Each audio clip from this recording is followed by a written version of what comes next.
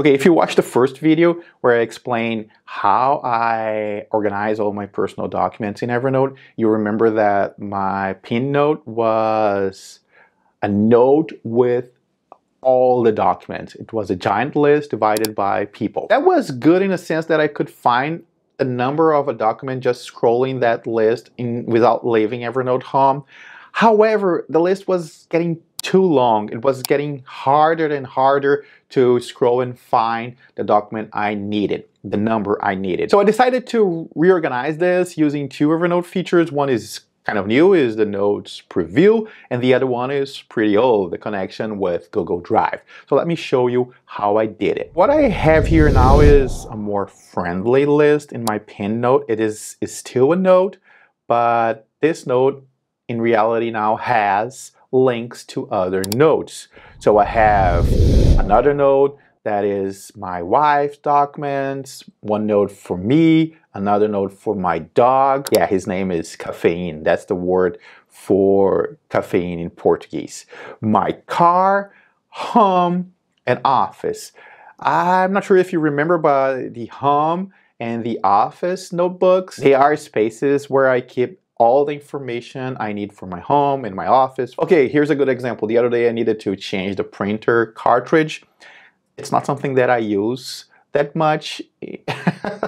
I rarely print, so I never remember what the cartridge is. So all I had to do was click the office note and inside that note, I would find other notes that are measurements, uh, documents, and office supplies in my notebook, my wife's notebook, and my dog's notebook, all I have is a list. It's the same list that used to be in the pin note, but now it's divided by people or places. So in my note now, what I have is a list of my documents and also the numbers because remember the number is what we use most of the time usually all I have to do is copy and paste that number so that's why I have the numbers but the name of the document is a link and that's linked to the actual document, a copy of that document inside Google Drive. Why Google Drive, you may ask? Well, as I explained in other videos, I am an Android user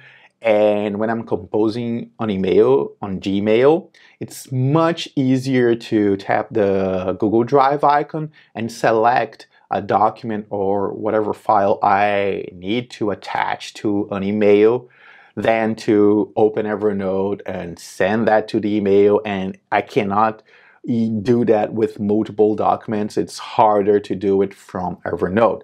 So now I have the best of both worlds. If I need to see a document, all I have to do is go to Evernote, click there, and that will open the document in Google Drive. It will open here on my phone and it will open on my computer. It doesn't matter. And if I need to attach a document, it's just a matter of tapping the Google Drive icon.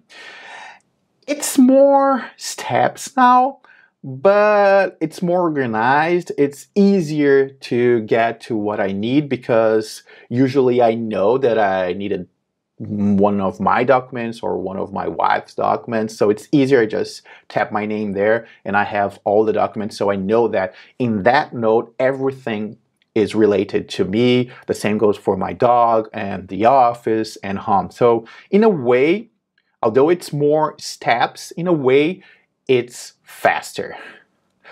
That's it. Thanks for watching. See you soon.